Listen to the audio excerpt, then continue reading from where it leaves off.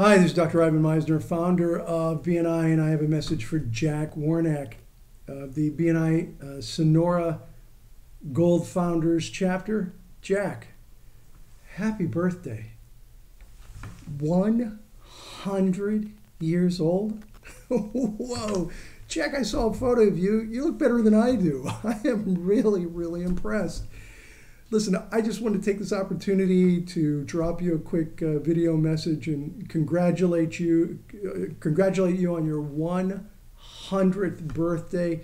Thank you so much for being part of BNI. We really appreciate it, and uh, I'm just as impressed as can be. And I just wanted to reach out and congratulate you and thank you for being part of this organization. Uh, you've set a record. Uh, you are our most mature member in the organization.